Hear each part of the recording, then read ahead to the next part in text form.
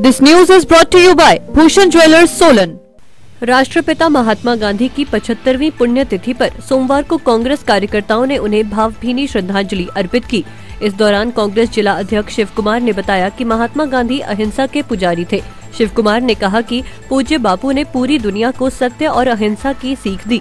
उन्होंने बताया कि आदर्श मार्ग पर चलते हुए देश की सेवा करना ही उन्हें सच्ची श्रद्धांजलि है।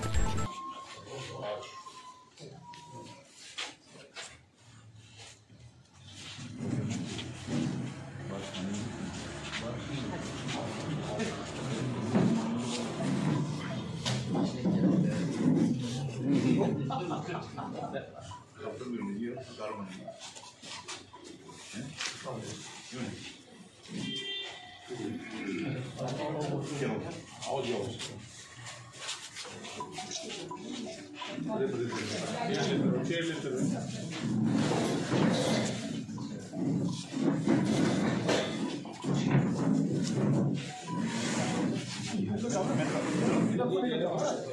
Gracias.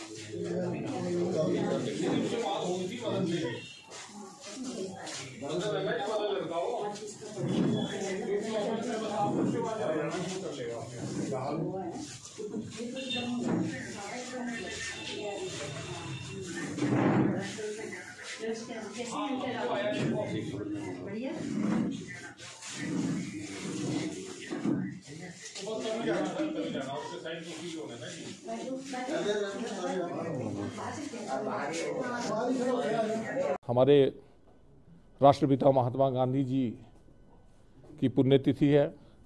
उनकी पचहत्तरवीं पुण्यतिथि पर आज हम जिला कांग्रेस कमेटी में हमारे जो पदाधिकारी है, कार्यकर्ता है, उनको श्रद्धा सुमन समर्पित करने के लिए एकत्रित हुए हैं। एक ऐसी सोच, जो अहिंसा की सोच थी, उसको हिंसावादी लोगों ने जो है बंद करने की एक चेष्टा की थी।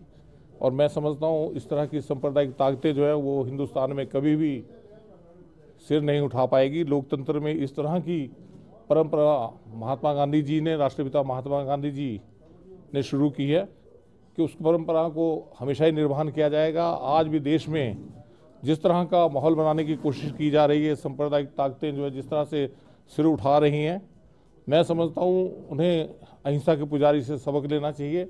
और आज महात्मा गांधी जी के लिए सबसे बड़ी श्रद्धांजलि यही होगी कि देश की एकता और अखंडता के लिए हम सब एकत्रित होकर काम करें उनके बताए मार्ग पर चलें। यही उनके लिए सबसे बड़ी श्रद्धांजलि होगी। दिव्य हिमाचल टीवी के लिए सोलन से मोहिनी सूद की रिपोर्ट। गुणवत्ता और विश्वसनीयता के लिए प्रसिद्ध अवार्ड ऑफ़ एक्सीलेंस से सम्मानित भूषण ज्वेलर्स में ग्राहकों के लिए आकर्षक डिज़ाइन युक्त ज्वेलरी उपलब्ध है। भूषण ज्वेलर्स में उपलब्ध आकर्षक डिज़ाइन युक्त आभूषण ग्राहकों को बरबस ही अपनी ओर आकर्षित कर रहे हैं। भूषण ज्वेलर्स आभूषणों की खरीद फरोख्त पर ग्राहकों को विशेष योजना भी उपलब्ध करवा रहा है।